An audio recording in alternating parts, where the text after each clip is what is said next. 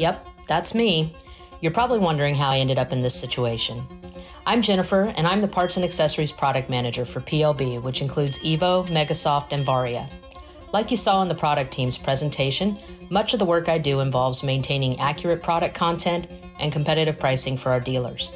That starts with selecting the right portfolio of products for each brand. But where does that product come from? I'm going to give you a quick look behind the scenes as I walk you through the process of developing a new Evo product. I look for product opportunities in a lot of places, like sales reports, trends, and competitors. But one of the most valuable sources is feedback from our sales team. For example, we received an email from Barry suggesting a casual, entry level riding short with padded liner. Sounds like a great idea, and something that a lot of dealers would be interested in. Do we currently offer something like this? Or is there any similar product on the market? I find some shorts that look similar to our concept and I order up some samples. Once I receive the samples, it's time to try them on, test them, and decide what features, fit, and materials I want for Evo shorts. Bo calls me and introduces me to an apparel designer he's worked with in the past. I get on a call with the designer to detail my strategy for the shorts. The designer takes my comments and samples and starts working on drawings. The shorts also need branding and packaging, so I hit up our PLB designer, Jamie Pye. This is where I come in. Hi there, my name is Jamie. I am the team's package and graphic designer. I'm going to explain a little bit of the design process. First, I'm informed by one of our team members, in this case Jen, that my artistic skills are needed. Oftentimes, we will set up a meeting to discuss the details of the project to make sure that we're on the same page. What I love about my job is that the design process can be different for every project.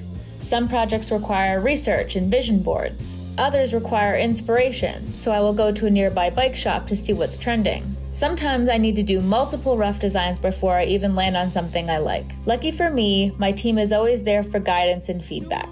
But for a project like these bike shorts, I can craft up an idea through discussion with Jen and referencing previous Evo products. Jen will often tell me the vibe we're going for, and then it's off to the drawing board. Literally. Usually more than one idea comes to mind, and I like to give options. I will work out a few designs in Adobe Illustrator and present them to Jen. Sometimes I hit it out of the park with one or more designs, and sometimes it's back to the drawing board. But for argument's sake, I'm going to say that this time I hit it out of the park. Around the same time or soon after I'm done with the product design, I will have to start working on the packaging. A die line is provided by the factory, which I then apply artwork to, following the Evo brand guidelines. After I'm happy with my work, I will send it to Jen for approval. Looks like perfection. So, yeah, I do digital arts and crafts for a living. It's a tough job, but somebody's gotta do it. All of these details go into a spec pack for the shorts. Now I need to find a factory. Most Evo parts and accessories are sourced from factories throughout China and Taiwan through our trading partners or brokers. But these shorts will require a specialized apparel factory with experience in knit and woven fabrics and setting a chamois. I reach out to an apparel factory in Thailand who I've worked with in the past. I send the spec pack to the factory, and in no time at all, they send me prototypes. Time to try on the prototypes and make any final changes to the spec pack for production. Now we can finalize the design and negotiate final costs with the factory. With final costing, I'm able to set the dealer pricing and MSRPs and confirm the margin analysis with Bo.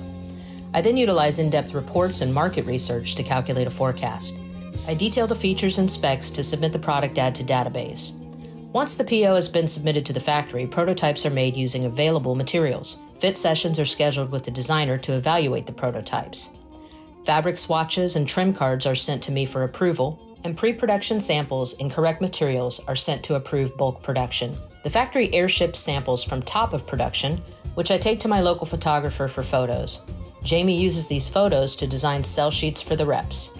I then send the shorts to Samantha to produce video content. And finally, the bulk orders arrive on time in our DCs.